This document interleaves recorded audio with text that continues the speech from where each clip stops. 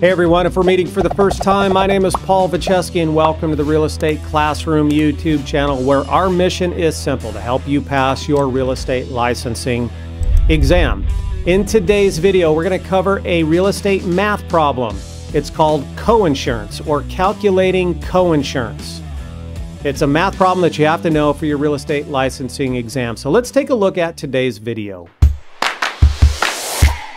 So in today's real estate exam prep video, we're going to discuss a concept called coinsurance. Now, coinsurance is a real estate math problem that you have to know for your real estate licensing exam, in particular for those broker candidates. Not to say that you won't have it on your salesperson's exam if your state has uh, two separate licenses, but definitely on your broker's exam. And if you are a property manager, and you you manage any kind of property other than single family homes, you definitely need to know how to do uh, this calculation, and that's where you're really going to see it. Now, coinsurance, coinsurance. Now, first of all, coinsurance has nothing to do with um, has nothing to do with your health insurance, like coinsurance, where you have two types of insurance for health. This has nothing to do with that. It's typically for non-residentially zoned types of property. It's typically for your larger apartment communities, commercial properties, industrial office, those type of things. And, and the, the key here is your coinsurance carrier is going to have a certain level of coinsurance coverage that the owner is going to be required to maintain. And typically it is a certain percentage of the replacement cost or the market value, depending on the carrier. And I've seen it go both ways. Typically, it's 80%. So a carrier is going to require the owner to maintain 80% coinsurance of the replacement cost or 80% coinsurance of the market value.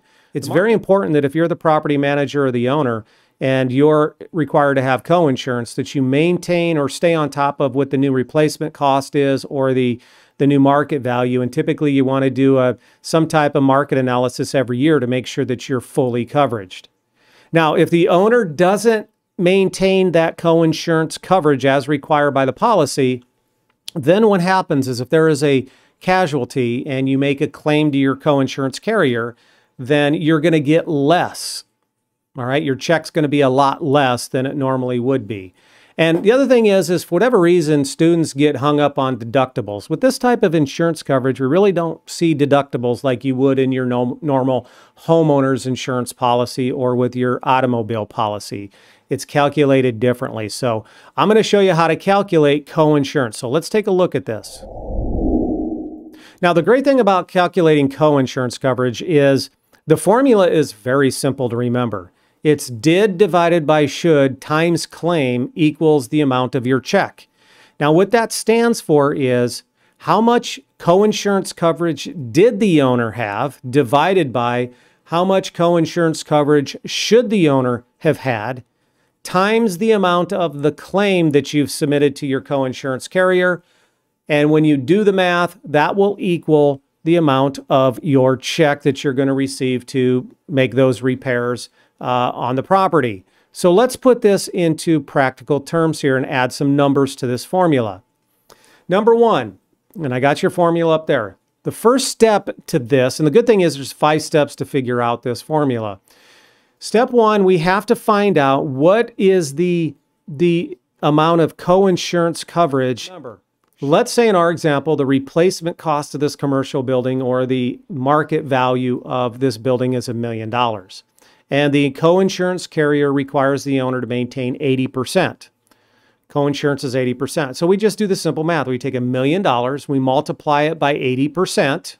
That gives us a co-insurance coverage of $800,000, meaning the co-insurance carrier is going to require that owner, the should part, that owner should maintain $800,000 in co-insurance coverage. That's step number one. Step number two is we have to find out how much coinsurance coverage did the owner actually have. So let's say in our example, the coinsurance coverage or the owner did have 800,000. All right, so now we have the did and the should.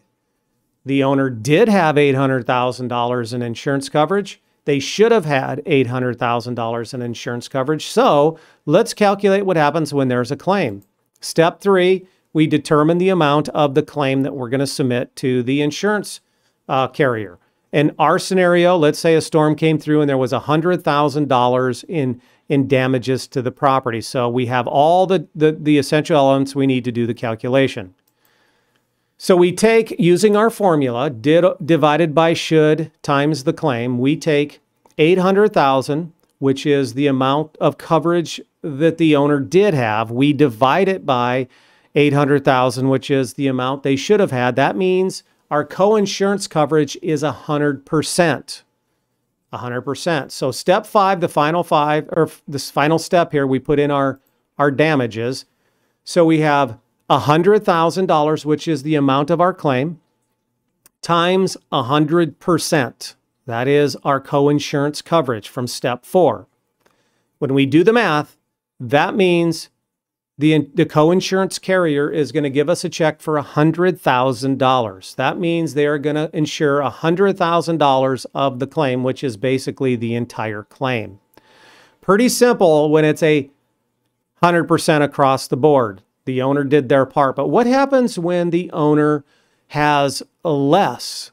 Their insurance coverage that they did have was less than what they should have had. And how does that happen? First of all, it happens when the owner, for example, let's say the co-insurance carrier uh, is doing it based on the market value of the property, and the owner for two or three years just didn't keep up with the market value accurately. Therefore, they didn't keep up with the uh, the coverage that they should have had.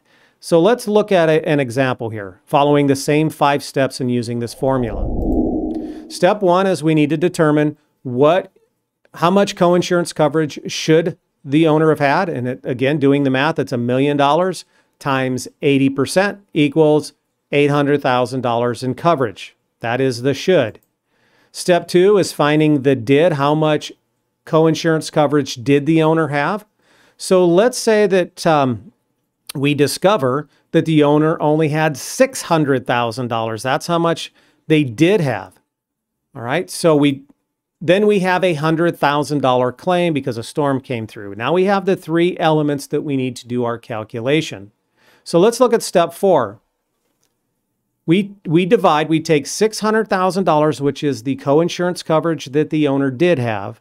We divide it by 800,000, which is the coinsurance coverage they should have had. That gives us a percentage of, percentage of coinsurance coverage of 75%. So that's less than the 100. And when we include step five here, remember we take the amount of the claim, which is $100,000. We multiply that by our, our coinsurance coverage that we calculated in step four, which is 75%. And the insurance company is going to pay $75,000 on that $100,000 claim. So as you can see, it's very important that as an owner or a property manager, that you always maintain that proper amount of coinsurance coverage and making sure that the uh, replacement cost value or the um, market value is always properly being updated to make sure that you have the proper coverage. If you're going to continue studying, I highly recommend that you check out this video right here. If you have not subscribed to the channel, please do so. There's a lot of benefits for me.